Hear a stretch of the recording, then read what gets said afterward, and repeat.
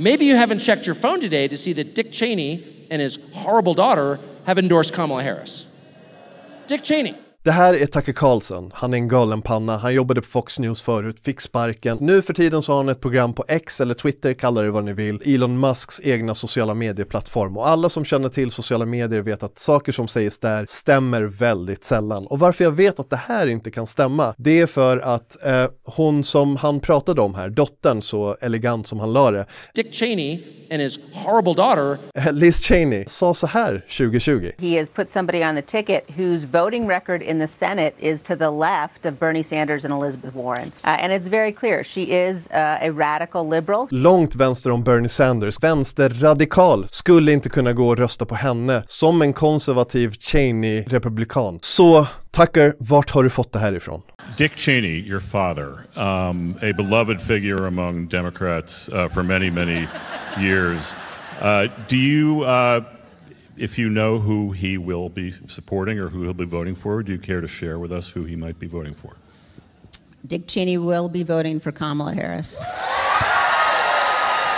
Okej, det här är en bomb. No pun intended Dick, få inga idéer. Okej, det här var en chock. Det här var en chock. Att Dick Cheney väljer att rösta på Kamala Harris. Men alla vi som har följt Kamala Harris vet att hon kommer ta avstånd från det här stödet. För att ända sedan hon blev presidentkandidat för Demokraterna så har ju hon sagt att hon tar råd från Joe Biden. Joe Biden är den bästa mentorn hon har haft och en av de bästa presidenterna som USA har haft. Och vad har Joe Biden sagt om Dick Cheney? Vice President Cheney interpretation of the Vice President? Vice President Cheney's been the most dangerous vice president we've had probably in American history. The idea he doesn't realize that Article 1 of the Constitution defines the role of the Vice President of the United States. That's the executive. He works in the executive branch. He should understand that. The idea he's part of the legislative branch is a bizarre notion invented by Cheney to aggrandize the power of a unitary executive, and look where it's gotten us. It has been very dangerous. Det här var prime Joe Biden när han sa hela långa meningar som han faktiskt menade och mindes dagen efter. Och är det någon som känner till Dick Cheney så är det Joe Biden. Han har varit i senaten ända sedan 70-talet och de har jobbat sida vid sida inom politiken ända sedan flera decennier tillbaka. Och för alla vi som minns 2000-talet så är det så att Dick Cheney var ju liksom det stora monstret för Demokraterna. Det var han som kallades för krigsförbrytare, det var han som invaderade Irak olagligt, det var han som eventuellt skulle ställas inför riksrätt. Det var ju på riktigt så att Obama fick faktiskt gå ut och säga att han inte skulle ställa George Bush och Dick Cheney inför riksrätt. You know, uh, when I first became Speaker in 07 January, I was so deluged with requests to impeach President Bush for the war in Iraq. This war in Iraq was the worst mistake our country ever made, and the consequences continue. Will you appoint a special prosecutor to independently investigate the gravest crimes of the Bush administration,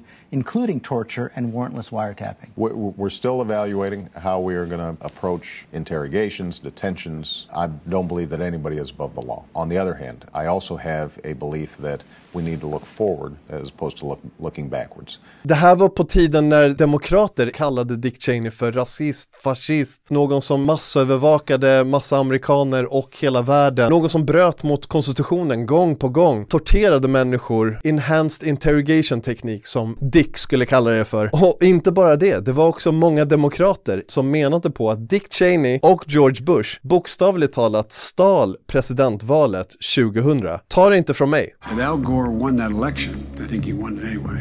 Actually, I think I carried Florida. Al Gore won the election nationwide and also in Florida. Al Gore got more votes, but not enough to stay out of the Supreme Court. A court took away a presidency. There's no question that you won the state of Florida. That's a We will, question. ne- we will never know because the votes weren't, weren't counted. Enron had already helped the Bush team with such favors as ferrying their rent-a-mob to Florida in 2000 to permanently halt the counting of legally cast ballots. What I observed were troubling evidence of the fact that not every vote was being counted. Carefully worked out conspiracy. He started dividing America. Kerry thought that, quote, proxies for Bush had rigged many of the voting machines. I agree with tens of millions of Americans who are wo- very worried.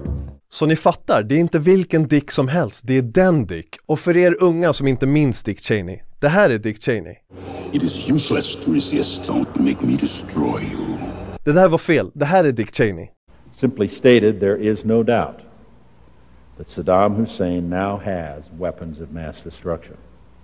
There is no doubt that he is amassing them to use them against our friends, against our allies, and against us. Och självklart, det har gått massa år, man kan bättra sig, man kan förändra sig, man kan förnya sig, man kan tänka om, man kan tänka rätt. Hillary Clinton till exempel röstade för kriget, ångrade sig efteråt. Joe Biden röstade för Irakkriget, men sa sen att han ångrade sig och att han gjorde ett misstag. Vi alla har säkert sagt saker vi ångrar eller finansierat krig som vi inte borde ha gjort. Så Dick Cheney, vad säger han efter mandatperioden? So no regrets about Iraq. I think we made exactly the right decisions. Okej, Dick Cheney kanske inte kan utvecklas och förbättra sig, men men även där, vi har allihopa släktingar som fortsätter säga det där ordet runt julbordet som man kanske inte borde göra, eller bara invaderat något land som den inte borde ha gjort. Det viktiga här är två saker. Den första frågan är, varför tar du det så hårt, Dick? Vad är det för fel på Donald Trump? In our nation's 246 year history, there has never been an individual who is a greater threat to our republic than Donald Trump. He is a coward.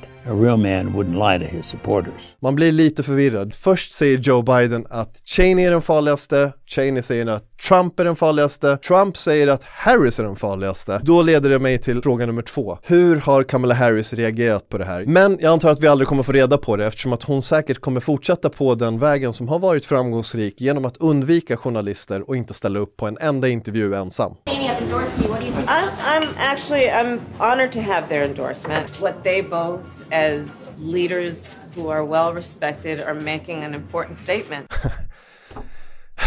Så hon ställer upp på intervjuer när hon vill tacka Dick Cheney, jag fattar. Men när man tänker på det här egentligen så är det inte så jättekonstigt. För att det är ett val som är på gång här, det är två månader bort, hon är liberal. Och vad gör riktiga liberaler Johan? Tack för frågan. Mitt parti består av mycket kloka människor som förstår. När man går till val så säger man en sak innan valet. Sen genomförs valet. Så säger man en sak också efter valet. Liberaler vinner, och vinna måste man. För att om inte Harris vinner det här valet så vinner Donald Trump. Och vinner Donald Trump, då har vi knappt något USA kvar. Och har vi inget USA kvar, då har vi absolut inget Europa kvar. Och har vi inget Europa kvar, då vet jag inte om det är värt att leva. Så det här är inte så himla konstigt. Någonting som dock vore konstigt, det är om han som Liz Cheney pratade om i början. To the left of Bernie Sanders, a radical liberal. Bernie Sanders, ultravänster, radikal, progressiv miljömupp som hatar oljeindustrin och stora bolag. Och är det någonting han verkligen hatar så är det sådana som har jobbat inom oljeindustrin, kommer in i regeringen och in i politiken